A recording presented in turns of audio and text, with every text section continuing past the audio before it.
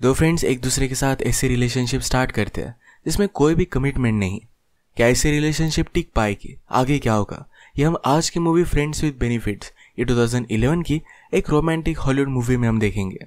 अगर आपको एक्सप्लेनेशन अच्छा लगता है तो प्लीज़ इसे लाइक और कमेंट ज़रूर कर दीजिएगा। बिना किसी देरी के एक्सप्लेनेशन स्टार्ट करते हैं। मूवी स्टार्ट होती है और हम हमारे मेन कैरेक्टर डिलन को देख सकते हैं। डिलन एक ब्लॉगर था और उसकी एक कंपनी भी थी। अपनी काम की वजह से अपनी गर्लफ्रेंड को टाइम नहीं दे पाता। एक दिन जब वो मूवी देखने के लिए जाने वाले थे, इस बार भी डिलन बहुत ही लेट हो गया। जब वो अपनी गर्लफ्रेंड से मिला तो उसे वो ब्रेकअप कर लेती है। कहती है, तुम हमेशा अपने काम पर ही ध्यान देते हो, मुझ पर तुम्हारा कभी भी फोकस नहीं होता। इसी के पैरेलल में हम हमारी और एक मेन कैरेक्टर को देखते हैं, जिसका नाम है जेमी जेमी के बॉयफ्रेंड ने भी आज उसके साथ ब्रेकअप कर लिया। कहा कि तुम बहुत ही इमोशनली अनअवेलेबल हो। एक्चुअल में जेमी ये रोमांटिक मूवीज़ देखती है। उसे हमेशा लगता है उसे बचाने वाला प्रिंस चार्मिंग आने वाला है। उसके लिए वो सिंग करेगा, उसके लिए डांस करेगा। ये सारी चीज़ें बहुत ही कमिटमेंट लेती है। और ये कमिटमेंट करने वाला जेमी को अब तक तो कोई भी मिला नहीं है। इन दोनों के ब्रेकअप के बाद ये दोनों बहुत ही हर्ट हो चुके थे। डिसाइड करते हैं कि अब कभी भी डेट नहीं करेंगे। एक्चुअल में जेमी न्यूयॉर्क में रहती है और डिलन एलए में। इसके बाद तुरंत नेक्स्ट सीन में हम देखते हैं डिलन एलए से न्यूयॉर्क में आ रहा था। उसे एक अच्छे जॉब की ऑफ़र आई थी और ये ऑफ़र जेमी की वजह से आई है। एक्चुअल में जेमी की फ्रीलांसर एचआर कंसल्टेंसी है। जिन भी कंपनी को अच्छे एम्प्लॉयज़ चाहिए होती है, इनका कॉन्टैक्ट उन्हें दे देती है। इसी वजह से जेमी ने डिलन को कॉन्टैक्ट किया था। अब जॉब इंटरव्यू देने के लिए डिलन न्यूयॉर्क में पहुँचा। जेमी वहाँ उसका वेलकम करने के लिए आए। जेमी को लगता है कि अब डिलन को जीक्यू मैगजीन में काम करने के लिए मिलेगा। ये उसके लिए बहुत ही बड़ी अपॉर्चुनिटी है। बट डिलन को इसका सीरियसनेस नहीं था। उसकी लाइफ बहुत ही अच्छी थी और एले भी उसे पसंद था। जेमी ने कहा कि न्यूयॉर्क बेस्ड है, तुम्हें ऐसी अपॉर्चुनिटी कभी भी नहीं मिलेगी। इतनी बड़ी कंपनी में काम करना है, बहुत बड़ी अपॉर्चुनिटी है। डिलन इंटरव्यू देकर आया और उसे जॉब मिल भी जाता है। पर अभी भी उसे न्यूयॉर्क में रहना है या नहीं, इसे लेकर वो श्योर नहीं था। जेमी ने कहा कि मैं तुम्हें दिखा कर रहूँगी कि न्यूयॉर्क कितना बेस्ट है। वो फिर उसे ब्रुकलिन ब्रिज के पास एक बार में लेकर आए यहाँ पर डिलन एक सेलिब्रिटी से भी मिलता है, पर उसे इतना अच्छा नहीं लगा। इसके बाद उसे बहुत ही टॉल बिल्डिंग के ऊपर लेकर आए जेमी ने कहा कि मैं जब भी अपसेट होती हूँ तो हमेशा यहीं पर आती हूँ। ये उसके लिए बहुत ही ब्यूटीफुल सा एक्सपीरियंस था। डिलन को भी बहुत अच्छा लगता है। डिलन के फादर भी एक बहुत बड़े राइटर थे। ये बात जेमी को पता थी। तो जेमी ने उसे पूछा, तुम यहाँ पर जॉब ले रहे हो? इसके बारे में तुम्हारे फादर क्या कहेंगे? डिलन कहता है, मैं हमेशा लाइफ में जो भी करूँ, वो अच्छा ही करूँगा। ये मेरे फादर को हमेशा लगता था। मुझ पर प्राउड होते हैं। इसके बाद जेमी डिलन को टाइम स्क्वायर में लेकर आए वहाँ पर सब लोग एक सिंक्रोनाइजेशन में डांस करने लगते हैं। जेमी ने कहा, इतनी बड़ी सिटी में लोगों को अकेला न लगे तो इसलिए सब मिलकर यहाँ डांस करते हैं। उन्हें लगता है कि किसी चीज़ का वो पार्ट है। ये सारी चीज़ें देखकर डिलन ने भी डिसाइड कर लिया कि वो न्यूयॉर्क में रहेगा। डिलन ने फिर अपना जॉब ज्वाइन किया। सबके साथ वो बहुत ही फ्रेंडली था। उसका एक नया फ्रेंड बनता है, जिसका नाम है टॉमी डिलन के ऑफ़िस में इस जॉब का कॉन्ट्रैक्ट साइन करवाने के लिए जेमी आई हुई थी। एक वन ईयर कॉन्ट्रैक्ट है, पर फिर भी डिलन छोड़कर जा सकता है। पर जेमी कहती है कि ऐसा करना मत। अगर तुम छोड़कर चले गए तो मुझे कोई भी बोनस नहीं मिलेगा। बात करते करते डिलन जेमी से पूछ लेता है या तुम मेरे साथ लंच पर चलोगी? जेमी को लगा कि डिलन उसे डेट पर पूछ रहा है। जेमी कहती है कि पूरी सिटी में सिर्फ़ मैं ही तुम्हारी फ्रेंड हूँ, और अगर हम दोनों डेट करेंगे तो सब बहुत ही वियर्ड हो जाएगा। डिलन कहता है कि ऐसा कुछ भी नहीं था, मैं सिर्फ़ एज अ फ्रेंड तुम्हें पूछ रहा था। इसके बाद फिर ये दोनों लंच के लिए आए। बातें करते करते अपने प्रीवियस ब्रेकअप के बारे में बात करने लगते हैं। उनके एक्स पार्टनर्स को उनके बारे में क्या लगता था, ये सारी चीज़ें एक दूसरे को उन्होंने बता दी। ये हमेशा एक दूसरे के साथ बहुत ही ऑनेस्ट रहते हैं। इस वजह से इनकी फ्रेंडशिप स्ट्रांग हो जाती है। जेमी ने कहा कि कल रात मेरे घर पर पार्टी है, जहाँ पर तुम और भी फ्रेंड्स बना सकते हो। डिलन भी इस पार्टी में पहुँच गया। बहुत सारे मज़े करता है। इसके बाद ये दोनों एक दूसरे से मिलने लग गए थे। एक रात डिलन जेमी के घर पर मूवी देख रहा था। जैसे कि हमें पता है कि जेमी को रोमांटिक मूवीज़ बहुत ही अच्छी लगती है। डिलन कहता है कि सारी मूवी एक ही टाइप की होती है। इन मूवी में रिलेशनशिप के लिए लोग कितना सब कुछ करते हैं। किसी से प्यार करना इतना कॉम्प्लिकेटेड होना नहीं चाहिए। जेमी भी इस बात से एग्री करती है। वो कहती है कि आदमी की फ़िज़िकल नीड्स होती है। उसे कंप्लीट करने के लिए हमें इतना सब कुछ नहीं करना चाहिए। डिलन कहता है कि जैसे हम किसी के साथ टेनिस खेलते हैं, उसी तरीके से ये भी चीज़ें होनी चाहिए। दोनों को कंसेप्ट बहुत ही अच्छा लगा। तो डिलन जेमी से पूछता है, क्या तुम्हें टेनिस खेलना है? इसका मतलब है, बिना किसी कमिटमेंट के साथ डिलन उसके साथ फ़िज़िकल रिलेशनशिप रखना चाहता था। जेमी कहती कि ऐसा कैसे? क्या हम एक दूसरे से अट्रैक्टेड भी हैं? इन दोनों ने एक दूसरे को नोटिस किया और वो रियलाइज़ करते हैं कि दोनों अट्रैक्टिव है। और इसके बाद ये दोनों इंटीमेट हो गए। इन्होंने कसम ली थी कि इनकी रिलेशनशिप सिर्फ़ फ़िज़िकल रहेगी। कोई भी इमोशंस इन्वॉल्व नहीं होंगे। ये हमेशा अच्छे फ्रेंड्स रहेंगे और कोई भी प्रॉब्लम नहीं आएगा। इस रात के बाद कुछ दिन बीत जाते दोनों के बीच में ज़रा ऑकवर्डनेस था। तो एक दिन जेमी ही डीलन के ऑफ़िस में आके दोनों ने इस इशू पर बात की। उन्हें लग रहा था कि शायद जो भी हुआ, इस वजह से इनकी रिलेशनशिप में ऑकवर्डनेस आ चुका है। डिसाइड करते कि ऐसा फिर से कुछ भी नहीं करेंगे, पर एक दूसरे से दूर रह नहीं पाए और फिर से इंटीमेट हो जाते हैं। एक दिन जब वे साथ थे तभी अचानक से जेमी की मदर आ जाती है। जेमी ने मदर को सिचुएशन समझाए और मदर को ये बात अच्छी लगी। एक्चुअल में जेमी की मदर ने भी कभी भी कमिटमेंट नहीं की थी। उसका डिवोर्स हो जाने के बाद वो कभी भी सेटल नहीं हुई थी। एक जगह पर वो टिकती भी नहीं थी। इसके बाद नेक्स्ट सीन में हम देखते हैं कि डिलन और टॉमी जब हैंग आउट कर रहे थे, तब डिलन ने उसे जब जेमी के बारे में बताया तो टॉमी कहता है कि तुम्हारी रिलेशनशिप कभी भी वर्क नहीं करेगी। लड़कियों का इन सब चीज़ों को देखने का नज़रिया बहुत ही अलग होता है। वो तुमसे कुछ भी कहे, पर वो कुछ अलग चीज़ ही चाहती होगी। अब ज़रा टाइम गुजर चुका था तो एक दिन जेमी रियलाइज़ कर दिया कि उसे फिर से डेट पर जाना है। वो एक सीरियस रिलेशनशिप चाहती थी।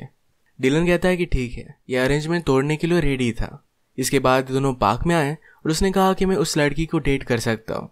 वहीं पर जाकर उसने डायरेक्टली उससे बात कर ली।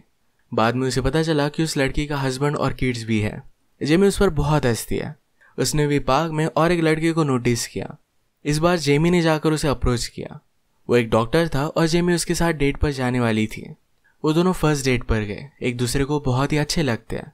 डॉक्टर का नाम था पार्कर और पार्कर को जेमी के साथ उसके घर पर चलना था। जेमी उसे कहती है कि मेरा एक रूल है। पाँच डेट तक मैं किसी को भी घर पर नहीं ले जाती। उसने उसे बताया कि मैंने इमेजिन किया है कि मेरे भी लाइफ में मूवी जैसा एक हीरो आएगा। मेरा एक प्रिंस चार्मिंग अब जब जेमी और पार्कर डेट करने लग गए थे तो डिलन का ज़रा अकेला महसूस होता है। उसे मिस करता है। उसने दूसरी लड़कियों के साथ डेट पर जाने का ट्राई किया, पर फिर भी उसे अच्छा नहीं लगता। इसके बाद हम देखते हैं कि जेमी और पार्कर की पाँच डेट कंप्लीट हो गई थी। ये दोनों इंटीमेट हो गए।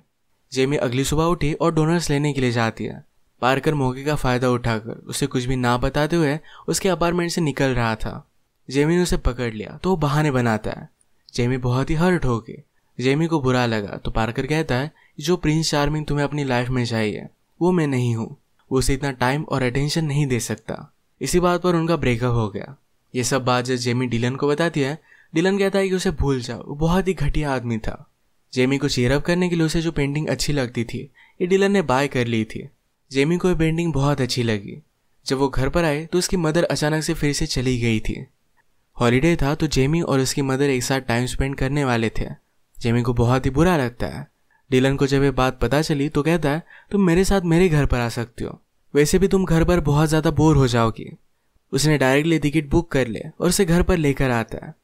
डिलन के घर पर उसके फादर के साथ उसकी सिस्टर भी रहती है। ये सब एक दूसरे से इंट्रोड्यूस हुए डिलन के फादर और उसकी सिस्टर एनी को जेमी बहुत अच्छी लगती है। यहाँ में पता चलता है कि डिलन के फादर को अल्जाइमर था। इस वजह से सारी चीज़ें वो भूल जाते थे। वो बहुत ही ज़्यादा एम्बेरसिंग चीज़ें करते थे। वो अब जो भी चीज़ें करते हैं कभी कभी अपनी पैंट पहनना भी भूल जाते हैं, ये सब चीज़ें डिलन को ज़रा अनकंफर्टेबल लगती है। वो इससे एम्बेरस्ड हो जाता है। स्लोली स्लोली जेमी और एनी ये दोनों बॉन्ड करने लग गई थी। रात में जेमी के रूम में डिलन आ गया। उसके साथ ही रात बिताना चाहता था तो जेमी उसे मना कर देती है। तो दोनों वहीं पर हैंग आउट करने लग गए। एक दूसरे के साथ टाइम स्पेंड करना इन्हें बहुत ही अच्छा लगता है। तो डिलन ने कहा, तुम मेरे लाइफ में आई। मुझे बहुत अच्छा लगा। जेमी कहती कि तुम भी मेरे लिए बहुत ही स्पेशल हो। ये बात करते करते दूसरे के साथ इंटीमेट हो जाते हैं। रात में जब डिलन जेमी के रूम से बाहर निकल कर अपने रूम में गया, तब एनी ने बात नोटिस की थी। अगली रात डिनर करते वक्त, डिलन के फादर को अचानक से अपनी वाइफ की याद आ गई। उनको ऑलरेडी डिवोर्स हो चुका था। तो इस बात से उसके फादर बहुत ही अपसेट हो गए। डिलन को चीज़ बहुत ही एम्बेरसिंग लगी थी। इसके बाद नेक्स्ट डे जब डिलन जेमी को सिटी दिखाने के लिए लेकर गया तो हॉलीवुड साइन पर बैठ जाते हैं। डिलन डर रहा था, पर जेमी उसे ज़बरदस्ती लेकर गई। उसे कहते कि तुम्हें अपने फादर को लेकर एम्बेरस नहीं होना चाहिए। लोगों ने क्या समझते हैं? ये चीज़ इतनी ज़्यादा मैटर नहीं करती। वो तुम्हारे फादर हैं और तुम्हें उन्हीं नज़रों से उन्हें देखना चाहिए। डिलन को ये भी बात सही लगी। जिस साइन पर वो थे, यहाँ बैठना अलाउड नहीं था तो पुलिस उन्हें पकड़ भी लेते हैं। बेचारा डिलन हाइट से डरता था तो इस वजह से भाग भी नहीं पाया। इनका वीकेंड ऐसे ही बहुत ही अच्छे से जा रहा था। तब एक दिन एनी डिलन से बात करती है। कहती है, तुम दोनों के बीच में चल क्या रहा है? मैंने नोटिस किया, तुम एक दूसरे के लिए बहुत ही परफेक्ट हो। डिलन कहता है कि ऐसा कुछ भी नहीं है। हम दोनों सिर्फ़ फ्रेंड है। और वैसे भी, वो बहुत ही ज़्यादा डैमेज है। वो मेरे साथ रिलेशनशिप में नहीं रह सकती। ये सारी बात जेमी ने सुन ली थी। उसे बहुत ही अपसेट लगा। रात में उसने फ़्लाइट कर ली और वैसे ही गुस्से में वहाँ से चली जाती है। डिलन में न्यूयॉर्क आया, अपना काम कंटिन्यू करता है, पर उसकी जेमी से कुछ भी बात नहीं होती। उसे पूरी तरीके से इग्नोर कर रही थी, कुछ भी कॉल्स नहीं उठाती। एक दिन जेमी को एक कंपनी की रिक्वायरमेंट आई।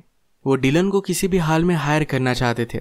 जेमी फिर भी डिलन को कांटेक्ट नहीं करती। डिलन को पता था कि जेमी हमेशा एक टाइम पर कहा जाती है।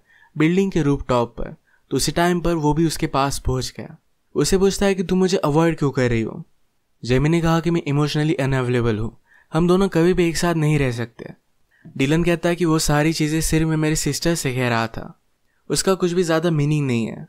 जेमी कहती कि तुमने मुझे कभी भी सीरियसली लिया ही नहीं। उसे एक्चुअल में डिलन के लिए फीलिंग्स आ गई थी। ये बात डिलन रियलाइज़ नहीं कर पाता। उसे इस तरीके से खोने के बाद उसे बहुत बुरा लगता है। जेमी को अच्छी लगने वाली रोमांटिक मूवीज़ जो उसे अच्छी नहीं लगती थी, ये भी उसे मिस करते हुए देख रहा था। जिस कंपनी ने पहले जेमी को कांटेक्ट किया था, वही डायरेक्टली डिलन को कांटेक्ट कर लेती है। डिलन जाकर उसके साथ मीटिंग कराया तो जेमी को बात पता चलने के बाद उसे कन्फ्रंट करने के लिए उसके पास पहुँच गए उसे कहती है, तुम्हारा कॉन्ट्रैक्ट है, तुम इस तरीके से छोड़कर नहीं जा सकते। डिलन कहता है कि मैंने सिर्फ़ एक ही मीटिंग की थी, पर अगर सचमुच में जॉब छोड़कर जा रहा हूँ तो मैं तुम्हारा बोनस का चेक में लिख कर जाऊँगा। फिर से इन दोनों का झगड़ा हो जाता है। हम देखते हैं कि एनी को ज़रा बाहर जाना था तो कुछ दिनों के लिए डिलन के फादर उसके पास आकर रहने वाले थे। जेमी की मदर भी अब वापस आ गई थी। एक दिन जब ये हैंग आउट कर रहे थे तो सारी सिचुएशन देख कर कहती है, तुम सिर्फ़ डरती हो। मेरी मिस्टेक्स फिर से रिपीट नहीं करना चाहती। तुम जो ये सब बात कहती हो, तुम्हें प्रिंस चार्मिंग चाहिए। मूवी जैसा एक हीरो चाहिए। पर एक्चुअल में तुम ये सब चीज़ें नहीं चाहती। तुम्हें एक स्ट्रांग पार्टनर चाहिए, जो तुम्हारे साथ पूरे वर्ल्ड पर कब्जा कर सके। मदर को भी लगता था कि डिलन उसके लिए परफेक्ट है। नेक्स्ट दिन में डिलन के फादर उसके पास पहुँच गए थे। एयरपोर्ट पर लंच करते तभी उसके फादर ने अपनी पैंट निकाल कर बाजू में रख दी। इस बात से पहले वो एम्बेरस्ड हो जाता। पर जेमी ने उसे जैसा कहा था कि अपने फादर से तुम्हें एम्बेरस नहीं होना चाहिए। तो डिलन ने वैसा ही किया। उसने भी अपनी पैंट निकाल दी और अपने फादर के साथ लंच करता लोग क्या कहेंगे इसका उसे फ़र्क नहीं पड़ता। लंच करते हुए उसके फादर अचानक से किसी लड़की का नाम लेने लग गए। डिलन कहता है कि वो लड़की कौन थी? फादर ने कहा कि मैं जब यंग था, तब वो मुझे मिली थी। वो मेरी लाइफ का प्यार थी। मैं कभी भी उसे भुला नहीं पाया। शायद उसी वजह से तुम्हारी मदर ने मुझसे डिवोर्स ले लिया। फादर पहले ये सब बात नहीं कर सकते थे, पर वो कहते हैं, ये लाइफ बहुत ही ज़्यादा शॉर्ट है। तुम्हें इस तरीके से उसे वेस्ट नहीं करना चाहिए। ये सुनकर डिलन ने रियलाइज़ किया कि वो कितना जेमी से प्यार करता है। वो डायरेक्टली जेमी से मिलने के लिए निकल पड़ा। जेमी आज रात उसकी मदर के साथ कहीं जाने वाली थी, पर उसकी मदर वहाँ पहुँचती नहीं। डिलन जेमी की मदर के साथ बात की थी और वो वहाँ पर पहुँच जाता है। अचानक से जेमी के आसपास के सारे लोग डांस करने लग गए। उसने डिलन को नोटिस किया। ये उसे जेमी को जिस तरीके से मूवीज़ अच्छी लगती है, वैसे ही किया था। वो कहता है कि मैंने तुम्हें बहुत ही मिस किया। मुझे मेरा फ्रेंड वापस चाहिए। मैं तुमसे बहुत ही ज़्यादा प्यार करता हूँ। जेमी कहती कि मुझे सब लोगों के सामने किस करो। और डिलन ने भी यही किया। इसी के साथ इनकी एक स्ट्रॉन्ग रिलेशनशिप स्टार्ट हुई। अगर आपको वीडियो अच्छा लगा तो प्लीज़ इस लाइक और कमेंट ज़रूर कर दीजिएगा। मैं बहुत सारी मूवीज़ लेकर आते रहता हूँ तो प्लीज़ चैनल को सब्सक्राइब कर दीजिए और बेल नोटिफिकेशन आइकन दबाने मत भूलिएगा। हम फिर से मिलेंगे और एक नई मूवी के साथ। तब तक के लिए थैंक यू और आप अपने आप का ख्याल रखिए।